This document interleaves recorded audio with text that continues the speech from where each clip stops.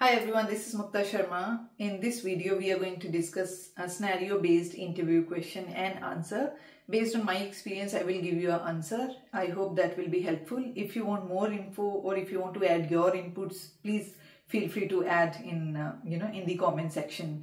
So the scenario-based interview question for today's video is, you are a software tester, you are working on a banking application let's say you are working on fund transfer feature. You have nearly 1000 in your available balance. Total amount is 1000 and you want to transfer 2000 you are able to transfer 2000 so which means you are able to transfer more than what is in your balance which is a defect right? You and me both of us know that this is a defect.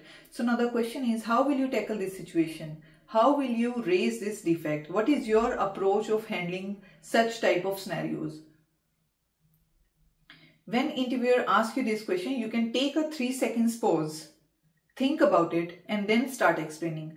I as a software tester, we go through the uh, steps one more time or two more times to feel confident that the bug is really occurring first of all, right? If the bug is just happening for once, it may not be a bug right? That is another scenario. We can talk about that later. But from your side as a tester you will try to reproduce the defect two three times. And if every time you are able to uh, transfer balance more than what is in your account balance it's a bug.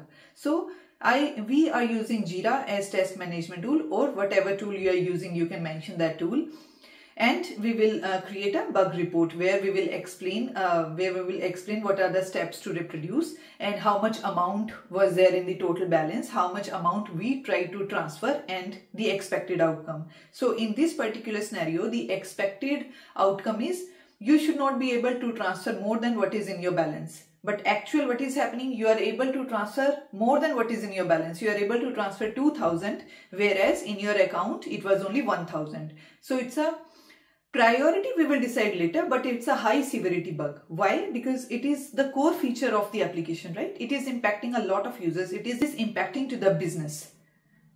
So a lot of users will be using this fund transfer feature. So this is definitely a high severity bug.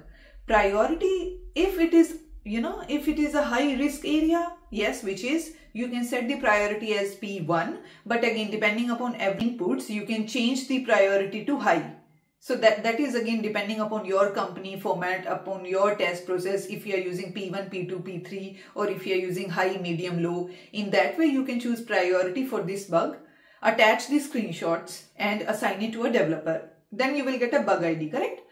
This is one way. Second approach, you will immediately ping to developers mentioning the bug ID and if possible copy the URL of the bug and send it in the chat and say please can you have a look at it I have just raised a high priority bug and that's it. Right? So this is how you approach scenario based questions. I think based on your experience you should be able to um, explain it properly to the interviewer that you know this is your approach that is how you should uh, manage the defects if it happens and how do how you talk to developers what is your method of you know communicating or approaching to developers. This is based on my experience. If you have anything more to that you can please add in the comments and I will see you in the next video. Uh, please feel free to add more scenario based questions in the comment section so that me and us both can revise together and crack the interviews. Alright, bye guys. I will see you in the next video. Until then, please take care of yourself. Bye.